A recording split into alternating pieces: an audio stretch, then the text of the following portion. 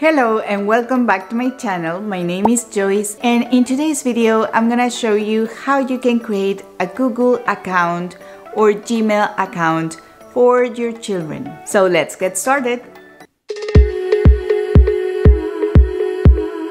So recently I got an iPad for my daughter and she will start elementary school soon. So I decided to create for her a new Gmail account so I could create an Apple ID for her new iPad. So I'm gonna show you a step-by-step -step tutorial on how you can create one and feel safe about your kids using this email account. And just to be clear, this email account will be managed by me.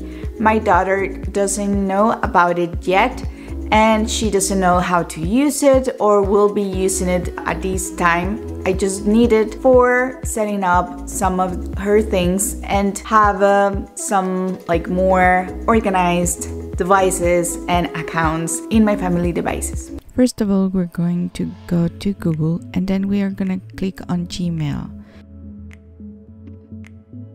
As you can see, I'm already signing in a different account, so I'm gonna click on add another account. And on this screen, you can see that there is a create account button and there is an option that it says for my child.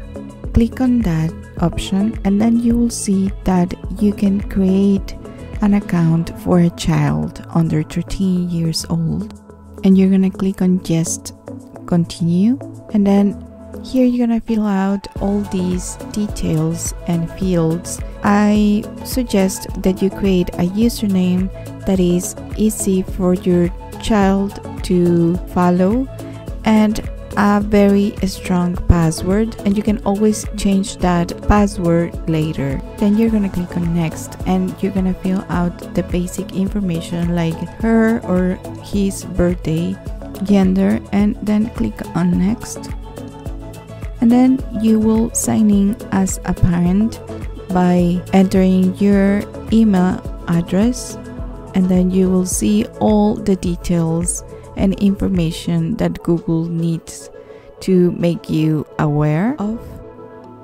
Once that you review all the details that Google is telling you, you will mark all the checkboxes right there and then click on the agree blue button.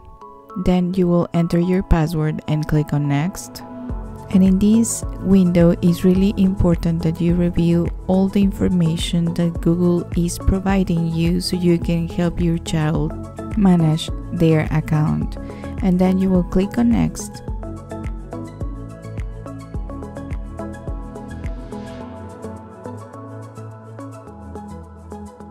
and then finally you will click on continue button and that's it you have a new Google account for your child. If you have any doubts or questions, don't forget to add them in the comments box down below. If you like this type of content, please don't forget to click on the like button and on that subscribe button so you don't miss out on any future videos. Thank you so much for watching and see you the next time. Bye bye!